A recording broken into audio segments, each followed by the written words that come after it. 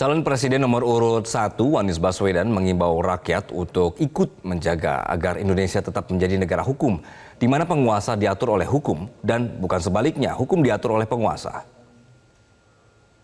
Banyak yang saat ini merindukan perubahan.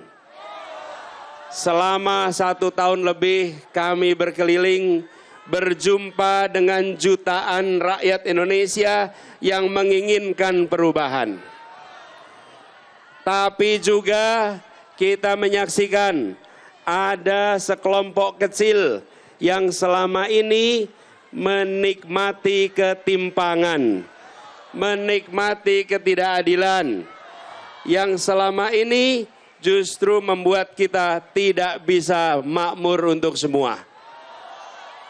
Mereka yang tidak menginginkan perubahan, dan kita ingin, Bapak sekalian, perjalanan republik ini terjaga. Kita ingin menjaga agar republik ini tetap menjadi negara hukum di mana penguasa diatur oleh hukum. Tidak boleh menjadi negara kekuasaan di mana hukum diatur oleh penguasa. Betul. Kita tidak ingin hukum ditekak-tekuk oleh yang memegang kewenangan. Setuju? Karena itulah kita berjuang untuk melakukan perubahan. Jelajahi cara baru mendapatkan informasi. Download Metro TV Extend sekarang.